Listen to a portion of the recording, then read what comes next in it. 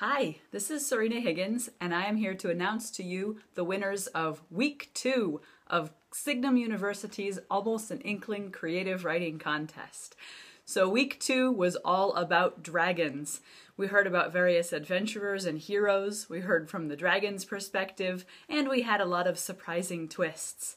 So, as I did last week, I will begin with talking to you about the winners of the popular vote. These are simply the ones that were chose by number, chosen by numbers from people who voted on our poll and decided on which ones were their favorites. So, I'll give you some of the honorable mentions first. These ones did not win the popular vote, but they came pretty close. From fewest votes up to most, we have Cliche by Alexis Height, Changing Bounty by Ed McNamara. Two called The Last Dragon. The Last Dragon by Kay Wagner, or Wagner, and The Last Dragon by Cheryl Cordoza. Quiet Courage by Jewel John. I Will Go by Olivia Jacobitz, and The Visitor by Jessica Kantrowitz. So those are some of the honorable mentions in the popular vote category. All right, but let me tell you who our actual winners are of the popular vote. The second runner up, with the third most popular votes, was It's a Girl by Alexis Height. A really great girl power, girl hero story with quite a surprising twist. The first runner up, with the second most popular votes, was Brenton Dickinson's Saving the World Left Handed, that was a parody of several genres mashed up together quite enjoyable. And the winner of the popular vote was J. Bryce Odom, The Dragon and the Brave. So do read these stories. They are available for you in a PDF on this page. And of course, they will be published in the ebook from Oloris Publishing at the end of the contest. I encourage those three winners of the popular vote to contact me to make those arrangements. You can get me on Twitter at Sørina Higgins or my email, serena.higgins at signumu.org. Okay, let's move on then to the literary awards chosen by myself and Robin Stone of Oloris Publishing. Now, in week one, I told you that we had a pretty easy job. The winner was absolutely clear. This week was a bit more difficult, and that's good because there were a lot more really good entries, so it was a more difficult decision and required a bit more back and forth. But we did have absolute agreement about the winners at the end. The result of that is that there are quite a few really good honorable mentions. So these do not win the literary prize, but they were in our discussions, and we did admire a lot of their skill. So here are some of the honorable mentions then in the literary category for the week about dragons. Eugene Sullivan, A Trade. Carita, is that Carita Alexander?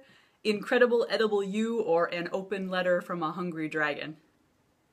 Elijah David, Tambor Death of Dragons. Rebecca Brunner, Secret Weapon. Laura Kraus, Meditation. L.F.S. Alden, Nameless. David Hepting, A Burning Message. This is a really powerful and heartbreaking story. We admired it very much as we did with Anne Whitver's Raised by Dragons. This is the one that, as I was simply copying and pasting it over so that you could read it, it made me cry.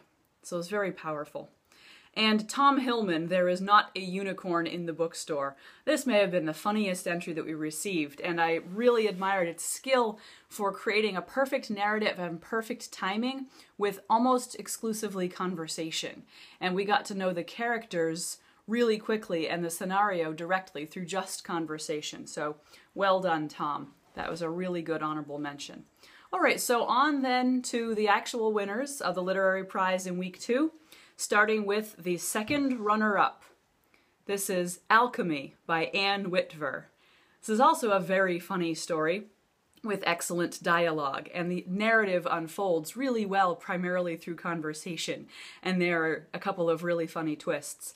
This story also shows a mastery of diction, of choosing just the right word at just the right moment. So look for the surprising word triaged in an unusual context, and look for the word transmute, a very important word in this context that comes just when it should occur in the story. The first runner up is Stacy Erickson, Hear the Lonesome Whistle Blow. This was a beautiful, strange, mysterious story with very poetic diction, and it draws the reader into the dragon's psychology right away and continues on that level of mysterious and foreign thought and emotion throughout the story. It's really gorgeous, haunting prose with a heartbreaking twist at the end that you can see coming, but it's no less powerful for that. And it's also a really sexy story. Our winner for week two in the literary category is Elena Asby Roberts, I Love Thee Not. Another story that uses strange and mysterious poetic diction. It's got a perfect mastery of tone. It creates an atmosphere of long ago and far away and mysterious tone and time right away. And it's got really good pacing, really good timing. And it creates a deep, well developed human relationship in a tiny space. So those are some of the reasons that we chose these pieces. So congratulations to all of this week's winners. Do get in contact with me to make arrangements for the publication and presentation of your work. And please do continue submitting. Week three right now going on is one minute mysteries. That's mysteries that you present and solve in 250 words. So please send in your work and encourage all of your friends and family to vote now and in the upcoming weeks. Thanks so much.